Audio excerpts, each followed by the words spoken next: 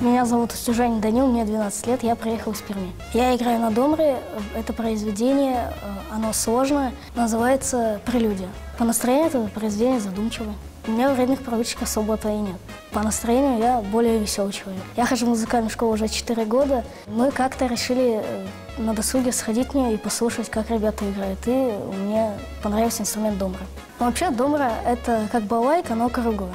И струны звучат немного по-разному. У домра они две струны более высокого тембра и одна более низкого. Кроме музыки, я очень много гуляю с друзьями. Люблю с ними общаться. В школе я учусь уже шестой год, и у меня есть несколько самых любимых предметов. Это математика и история. Есть предметы, которые мне не очень интересны. Это география и биология. В будущем я хочу стать военным и играть в оркестре. Я думаю, чтобы достичь цели, нужно играть хорошо.